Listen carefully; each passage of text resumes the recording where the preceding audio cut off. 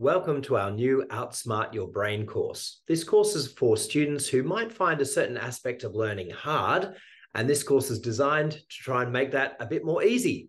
It's a short course based on this book, Outsmart Your Brain Why Learning is Hard and How You Can Make It Easy. And it's by a guy called Daniel T. Willingham, and you can buy it. And the way that this course is going to be run is in these six sessions how to understand a lesson how to organize your notes and work, how to learn from practical tasks, how to read difficult books, how to plan your work, and how to focus and defeat procrastination. Uh, you can see quite a few of these books that Daniel T. Willingham has written when you can trust the experts, uh, The Reading Mind, and Why Students Don't Like School. But the book that we're going to be focused on is that How to uh, Outsmart Your Brain, because we've all been in what we call the learning pit.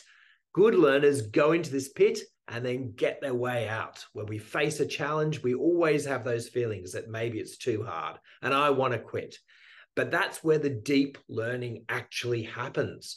Maybe that's when you collaborate with somebody. Maybe that's when you really focus and concentrate, even when you're feeling that you're not good at this and that you don't understand. With the help of a teacher, with the help of your peers, you can get out the other side and you can actually have successful learning and understanding.